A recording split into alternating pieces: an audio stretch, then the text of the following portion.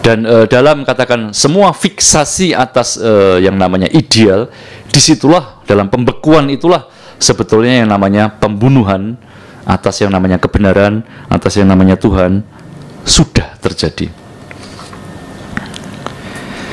Kita uh, langsung masuk ke paragraf tentang kematian Tuhan.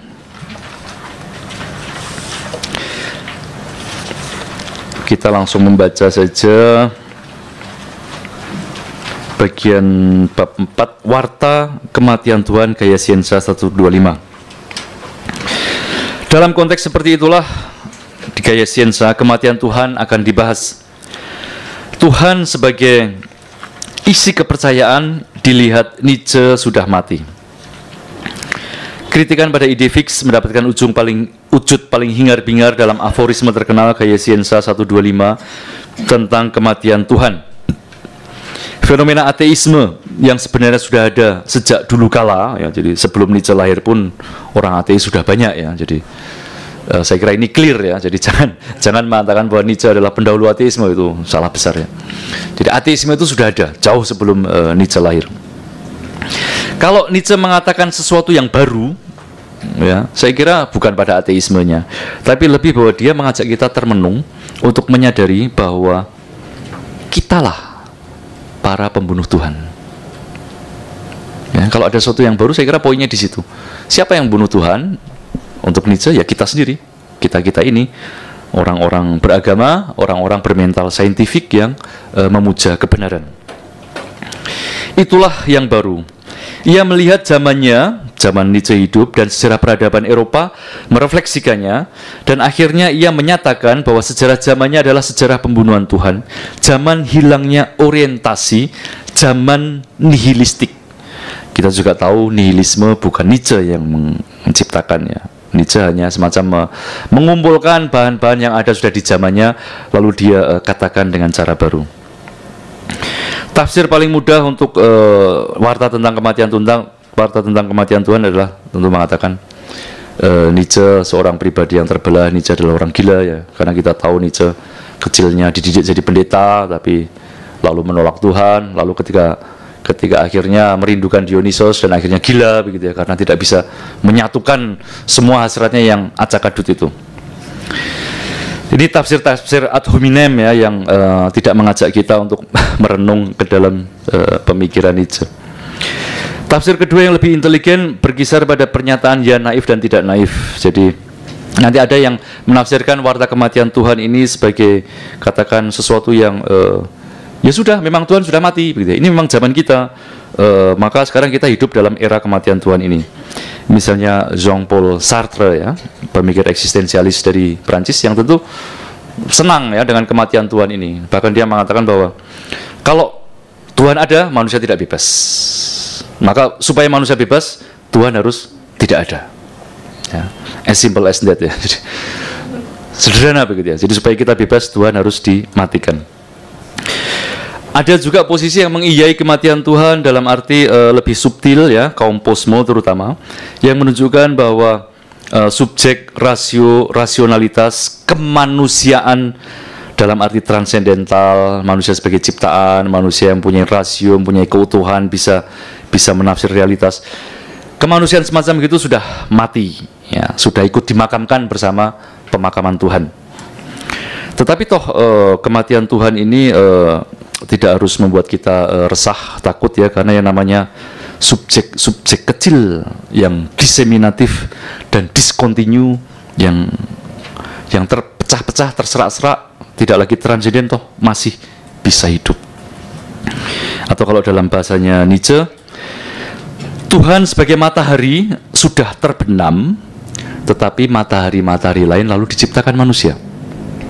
Ya, jadi kadang-kadang kalau saya mau agak uh, nyinyir sedikit begitu ya ya lalu kalau subjek transendental sudah mati katakan karena subjek transendental dianggap uh, menindas maka lalu muncul subjek-subjek kecil yang tidak kalah anarkisnya yang juga menindas sewenang-wenang seenaknya sendiri begitu sementara pendapat uh, yang lainnya uh, tentu saja menolak warta kematian Tuhan ini artinya mengatakan Nietzsche salah gampangnya kalau mengatakan Tuhan sudah mati, Tuhan sudah mati itu nggak mutu itu. ada satu graffiti toh yang selalu dikutip di internet itu ya. Jadi suatu pagi Tuhan sudah mati, tanda tangan Nietzsche. Besok paginya di bawahnya ada tulisan Nietzsche sudah mati, tanda tangan Tuhan. Nah ini kurang lebih posisinya Ahmad Santoso. Judul bukunya jelas ya, Nietzsche sudah mati. Jadi jadi uh, memang rada lucu cara dia menganalisis. Dia mengatakan bahwa sebetulnya Nietzsche itu kan tidak tidak bicara mengenai Tuhan mati, dia hanya meramalkan. Jadi Nietzsche itu tidak berbicara mengenai past tense Tuhan sudah mati, tapi futur ya Tuhan uh, nanti akan mati begitu ya. Nah kan, Tuhan nanti akan mati kalau umat beragama tidak menjalankan agama secara benar. Nah, nah karena umat beragama sampai sekarang kita tetap benar, berarti yang yang mati kan Nietzsche karena agama selalu benar begitu ya. Jadi rada karena kalau kita baca di teksnya ya memang past tense begitu loh. Jadi mau diapakan begitu ya. Kenapa kenapa dibuat bahwa Tuhan bahwa apa? Nietzsche meramalkan. Tidak ada meramalkan. Memang Nietzsche mengatakan Tuhan sudah mati. Past tense ya kalau dalam bahasa yang jelas. Uh, tentu kalau tafsir yang menarik adalah berusaha memahami uh, sikap Nietzsche ini dan semacam ya kita berada dalam tegangan ya. Nietzsche bukan orang ateis, tentu tentu Nietzsche adalah orang ateis ya, tetapi bukan dalam ateisme yang uh, sebagaimana kita pahami. Uh, Nietzsche juga pasti bukan bukan orang beragama ya, itu jelas juga dia meninggalkan agamanya. Tapi juga toh ada semacam kekudusan, kesalehan, sebuah makna yang dia cari ya, dia perjuangkan juga. Kita baca GS 125 si orang sinting. Pernahkah kalian mendengar kisah tentang orang sinting yang menyalakan lentera pada siang hari bolong, berlarian ke pasar, dan berteriak-teriak tanpa henti, "Aku mencari Tuhan, aku mencari Tuhan." Dan karena persis di sana terkumpul banyak orang yang tidak percaya kepada Tuhan, ya, di sana berkumpul banyak orang yang tidak percaya kepada Tuhan ya. Jadi ini harus dipahami ya, jangan sampai salah uh, menerjemahkan ya. Jadi di pasar itu Nietzsche bertemu dengan Orang Sinti ini bertemu dengan orang-orang yang sudah tidak percaya pada Tuhan. Orang Sinting ini mengakibatkan gelak tawa yang meriah. Apakah kita kehilangan Tuhan? Kata yang satu. Apakah Tuhan tersesat seperti anak kecil? Kata yang lainnya lagi. Atau mungkin dia bersembunyi entah di mana. Apa dia takut sama kita? Apa dia sudah pergi? Mungkin dia sedang emigrasi. Demikianlah mereka berteriak-teriak dan tertawa-tawa sekaligus. Ya. Jadi ini nih harus dipahami betul bahwa Nietzsche orang Sinting ini mewartakan kematian Tuhan di depan orang-orang yang ya, ya, ya, ya Tuhan memang sudah tidak ada gitu ya. Lalu, ngapain dicari-cari begitu ya? E, kalau ada orang nyari-nyari malah jadi bahan tertawaan gitu ya. Hari gini masih bicara Tuhan gitu ya. Oh mungkin Tuhan yang kamu cari lagi main-main di sana. Coba dicari di Pejaten Village gitu ya. Mungkin dia lagi nyungsep di sana gitu. Jadi mereka justru tertawa-tawa sekaligus. Jadi orang Sinting itu lalu segera mendatangi orang-orang tersebut dan memandang tajam mereka. Di mana Tuhan teriaknya. Aku akan mengatakannya kepada kalian, kita telah membunuhnya. Kalian dan aku. Kita semua adalah pembunuh-pembunuhnya. Tetapi bagaimana mungkin kita telah melakukannya? Bagaimana mungkin kita mengosongkan lautan? Siapa yang telah memberikan kepada kita spon untuk menghapus seluruh horizon? Apa yang telah kita berbuat dengan melepaskan bumi ini dari matahari? Ke mana bumi ini sekarang berputar? Ke mana gerak bumi ini membawa kita sekarang? Jauh dari segala matahari-matahari? Tidakkah kita terperosok dalam kejatuhan tanpa henti, terperosok ke belakang, ke samping, ke depan, ke berbagai arah mana pun? Apakah masih ada yang namanya atas atau bawah? Tidakkah kita sekarang menyasar-nyasar melewati kekosongan tanpa batas? Tidakkah kita rasakan hembusan kekosongan? Bukankah rasanya lebih dingin? Tidakkah rasanya menjadi malam dan semakin lama semakin malam? Tidak perlukah menyalakan lentera-lentera sejak pagi, sejak pagi hari? Apakah kita sama sekali tidak mendengar suara para penggali kubur yang telah memakamkan Tuhan? Apakah kita sama sekali tidak menghirup bau pembusukan ilahi? Tuhan-Tuhan pun membusuk. Tuhan telah mati, Tuhan tetap mati, dan kitalah yang telah membunuhnya. Bagaimana kita menghibur diri kita? Pembunuh dari para pembunuh. Apa yang paling kudus dan paling berkuasa yang dimiliki oleh dunia telah kehilangan darahnya dibilah pisau kita. Siapa yang akan membersihkan darah itu dari tangan kita? Air macam apakah yang akan bisa membersihkan kita? Penebusan agung macam apa? Lomba suci macam apa yang harus diciptakan untuk menebusnya? Tidakkah kedahsyatan tindakan ini terlalu besar bagi kita? Tidak haruskah kita sendiri menjadi Tuhan-Tuhan untuk bisa layak atas tindakan tersebut? Tidak pernah ada tindakan lebih besar dari itu. Dan siapa pun yang lahir setelah kita, berkat tindakan itu akan masuk dalam sebuah sejarah yang superior, lebih superior dari segala sejarah yang sudah ada sampai saat ini. Sampai di sini si orang sinting diam, menimbang-nimbang lagi para pendengarnya. Mereka juga diam dan memandangnya tanpa mengerti. Ya. Jadi Nietzsche mencari Tuhan, ditertawakan, karena mereka tertawa lalu Nietzsche ngomong serius ya, ngomong serius Tuhan sudah mati. Dan kematian Tuhan ini bukan sesuatu yang sepele ya. Serius nih. Kita sedang melepaskan dunia kita dari matahari. Kita nggak punya lagi gravitasi ya. Bumi kita itu mau ke mana gitu ya, mau jalan ke mana. Kita ada dalam kekosongan, dalam malam, dalam kegelapan. Dia berusaha serius ngomong seperti itu, tapi kita tahu di situ para pendengarnya itu memandangnya juga tanpa mengerti. Akhirnya si orang sinting itu melempar lenterannya ke tanah sehingga pecah dan padam. Saya datang terlalu awal, katanya kemudian. Waktuku belum tiba. Kejadian dahsyat itu sedang berjalan dan dalam perjalanan ia belum sampai ke telinga manusia-manusia. Sambaran geledek dan suara guruh pun membutuhkan waktu. Cahaya bintang-bintang membutuhkan waktu. Tindakan-tindakan pun walau itu sudah dilakukan membutuhkan waktu untuk terlihat dan terdengar. Tindakan itu masih jauh dari mereka lebih jauh daripada bintang-bintang yang paling jauh. Dan meskipun begitu, merekalah yang telah melakukannya. Masih diceritakan lagi bahwa pada hari yang sama si orang sinting itu masuk ke dalam gereja yang berbeda-beda di mana ia mulai menyanyi-nyanyi lagu, menyanyi-nyanyikan lagu Requiem Aeternam Deo. Beristirahatlah secara kekal Tuhan Ketika dilemparkan keluar dan harus menjelaskan tanpa henti-hentinya ia mulai lagi. Gereja-gereja itu apa sih kalau bukan rongga-rongga dan kuburan-kuburan Tuhan? Jadi nada dari warta ini sekali lagi bukan nada yang triumfalis, ya. Ya, dia mengajak kita semua adalah pembunuh dan banyak pertanyaan, ya, banyak pertanyaan yang uh, diajukan Nietzsche yang uh, uh, tidak dimengerti oleh orang-orang yang sudah menganggap kematian Tuhan sebagai sesuatu yang taken for granted. Orang-orang di pasar tentu saja uh, uh, orang yang sudah tidak percaya pada Tuhan, kemudian itu artinya pasar itu agora, agora adalah Yunani itu tempat orang-orang um, kaum retorika, ya kaum sofis, orang berpengetahuan, filsuf, ahli hukum semua bertemu ya.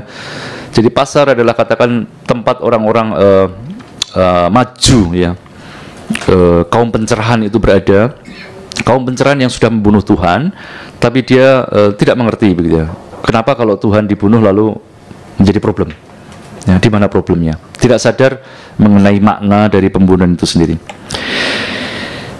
Gaya yang disampaikan oleh Nietzsche pertama adalah sebuah pertanyaan retoris ya. Pernahkah kalian mendengar kisah tentang seperti gaya-gaya uh, perumpamaan yang diajukan guru-guru kebijaksanaan misalnya tentu saja Yesus ya yang banyak juga dikutip oleh Nietzsche kalau Nietzsche mengutip Yesus itu selalu baik ya omong baik-baik tapi kalau Nietzsche mengatakan Kristus wah isinya jahat semua Ya, jadi ini juga, juga harus subtil ya, harus membaca.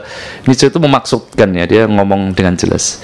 Orang Yahudi pun bagi Nietzsche juga dua wajah ya. Ada Yahudi sebelum uh, pembuangan itu Yahudi yang superior, tapi nanti ada Yahudi uh, setelah pembuangan Yahudi budak.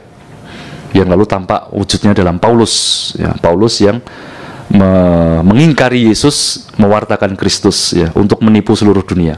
Ya. jadi kira-kira tesisnya uh, Nietzsche seperti itu. Jadi seperti gaya uh, guru kebijaksanaan dia mulai dengan mau bicara seperti perumpamaan begitu ya. Uh, gaya retoris uh, kalau kalau uh, Yesus mengabarkan Evangelion ya Injil maka yang dikatakan Nietzsche dia mengabarkan disangelion kabar buruk. Jadi, jadi bukan kabar kebaikan tapi kabar buruk disangelion pernahkah kalian mendengar? Nah pernahkah kalian mendengar? Ini juga ajakan untuk mencoba-coba kita pernah dengar apa begitu ya soal kematian Tuhan ini. Dan tentu rujukannya jelas misalnya abad ke-6 sebelum Masehi orang seperti Xenophanes sudah menyatakan ya kalau kalau orang-orang Ethiopia itu punya Tuhan, itu pasti juga Tuhannya kulit hitam. Kalau orang-orang uh, Trax, ya, orang-orang utara itu punya Tuhan, pasti Tuhannya kulit putih. Ya. Jadi mengkritik uh, bahwa manusia itu selalu menggambarkan Tuhannya secara antropologis ya, sesuai dengan cara pikirnya sendiri. Pernahkah kalian mendengar jadi omongan tentang kematian Tuhan sekali lagi bukan Nietzsche yang memulai. Xenophanes sudah omong soal itu. Kemudian ada uh, buku dari Paul Hazard ya dari abad uh, 16-17 yang sudah uh, berbicara mengenai krisis kesadaran Eropa dan dia menunjukkan di situ bagaimana Tuhan Kristiani memang kehilangan uh, kemahakuasaan. Kita tahu kaum Afklarung ya, kaum pencerahan yang memang sudah akhirnya tidak membutuhkan Tuhan lagi karena alam semesta ini sudah punya kayak jam itu ya sudah punya hukumnya sendiri, jalan sendiri ya. Tidak perlu intervensi dari yang ilahi. Abad 18 satu abad sebelum Nietzsche memang adalah sebuah abad penghukuman mati bagi Tuhan Kristiani. Seorang penyair Jean-Paul Frederick Richter dia menulis sabda Kristus yang mati dari ketinggian di atas dunia. Tuhan tidak ada, Tuhan telah mati, surga kosong. Menangislah wahai anak-anak, kalian tidak memiliki bapak. Selain itu juga ada seorang bernama Ongri Ain ya uh, yang menulis tentang sejarah agama dan filsafat di Jerman. Dia mengakhiri uh, buku keduanya dengan kata-kata ini, "Apakah kalian mendengar suara lonceng? Berlututlah. Sakramen untuk Tuhan yang sekarat sedang dibawa." Ya. Jadi sebelum Nietzsche itu penulis-penulis di Jerman sudah ya sudah bicara mengenai kematian Tuhan. Jadi pernahkah kalian mendengar yang mengajak supaya kita mengingat-ingat bahwa sudah banyak orang lain yang berbicara mengenai uh, uh, fakta historis ini. Dan juga barangkali pembaca diajak mengingat-ingat kisah yang senada yang diungkapkan abad kelima oleh orang bernama Diogenes, si orang sinis. Ya. Jadi paralelisme antara kisah orang sinting gaya Siensa 125 dengan Diogenes ini sangat sangat tajam ya. Kita tahu Nietzsche juga sangat sangat sangat apa akrab ya dengan teks-teks Yunani.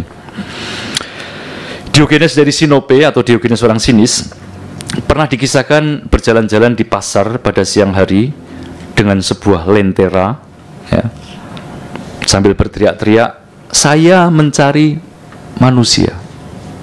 Ya, kalau Nietzsche orang sintingnya saya mencari Tuhan saya mencari Tuhan Diogenes saya mencari manusia. Diogenes penganut sinisme ini e, mengatakan bahwa zamannya orang-orang hidup demi hal-hal yang sia-sia belaka sehingga mereka lupakan kehidupan sesuai keindahan hidup sesuai dengan alam. Manusia lebih suka menutupi dirinya dengan pakaian, dengan jabatan, dengan hal-hal yang tidak perlu ya. Padahal uh, hidup sesuai alam ya dengan matahari yang ada, makan seadanya itu juga uh, sebuah keindahan. Jadi siang hari di pasar dengan lentera dia mencari manusia sesuatu yang sudah mati ya, di kalangan orang Yunani.